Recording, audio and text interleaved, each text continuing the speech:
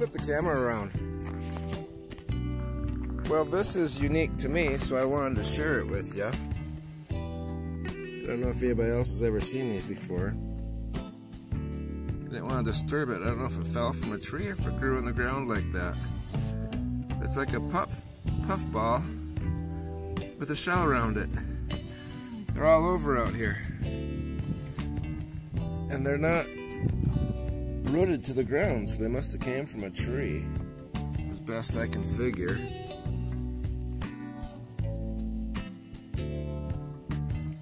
I just thought them to be strange. I never saw that before, and I'm always pretty observant of new and different things.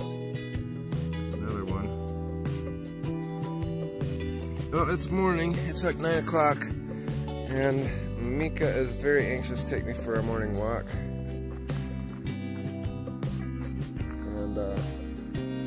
Had to grab the camera in case we see some deer or bear or whatever we might see out here. Good morning, everybody, or good afternoon if it's afternoon or evening. so I don't know if you can see this or not. I can see it with my eyes. You zoom up all the way. But in the background are all these, see that white dot right above my finger? That white dot? That's one. Those little white dots it's obviously a clear day because I can get them on video today. They look like little white mushrooms. Those are all satellite dishes. that are about 80 to 90 feet in diameter.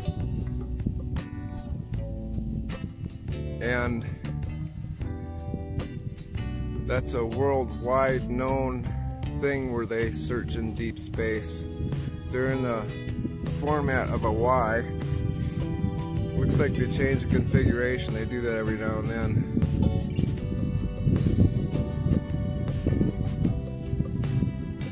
Now behind that one, let's get my finger in here. Behind this one in the center screen, there's a whole bunch that go across. They're uh, they are very huge. There's another one. I forget how many there are, but they're all daisy chained together to search in very deep space. It's a telescope. They use radio waves as a telescope so they can get computer printout visual. And they just upgraded them like, I think it was 20 years ago. But it's one of the strongest satellite dishes arrays in the world that I am camped right above.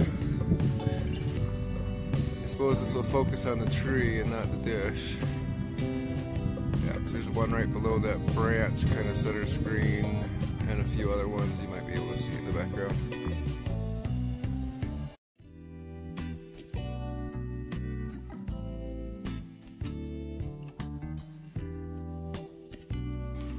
Such a good kitty.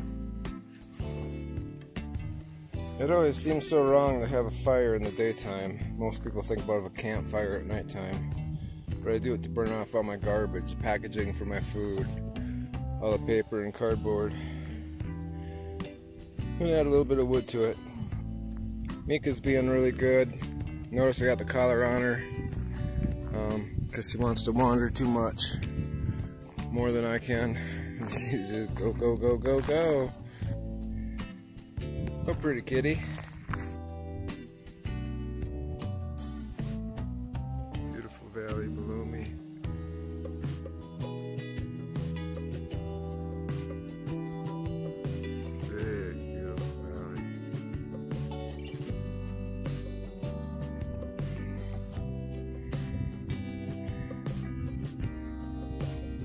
So, skies. I'm sure some of you want to see the skies.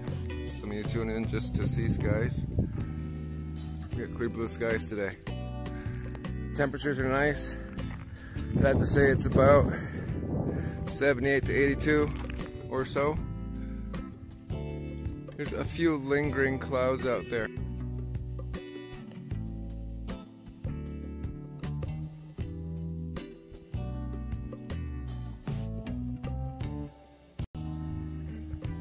Check out that tree.